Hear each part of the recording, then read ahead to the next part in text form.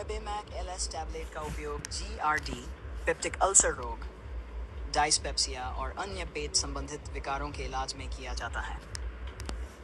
यह दवा पेट में अत्यधिक तत्वक्रमण को कम करने और पेटीय गतिविधि को सुधारने में मदद करती है।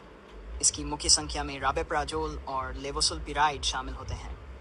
कृपया इसे चिकित्सक के परामर्शानुसार और निर्देशों के अनुसार ही उपयोग करें।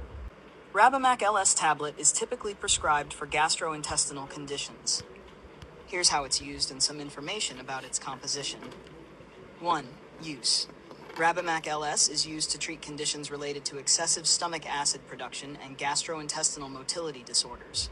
It's often prescribed for gastroesophageal reflux disease, GERD, peptic ulcer disease, dyspepsia, and other acid related disorders. The combination of rabeprazole and levosulpiride in Rabemac LS helps to reduce stomach acid production and improve gastrointestinal motility, respectively.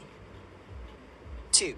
Composition Rabeprazole. This is a proton pump inhibitor, PPI, that reduces the production of stomach acid by inhibiting the proton pumps in the stomach lining. Levosulpiride. It's a prokinetic agent that enhances gastrointestinal motility by acting on dopamine receptors in the gut. Rabemac LS should be taken exactly as prescribed by a healthcare professional. It's essential to follow the dosage instructions and not to exceed the recommended dose. Additionally, it's important to discuss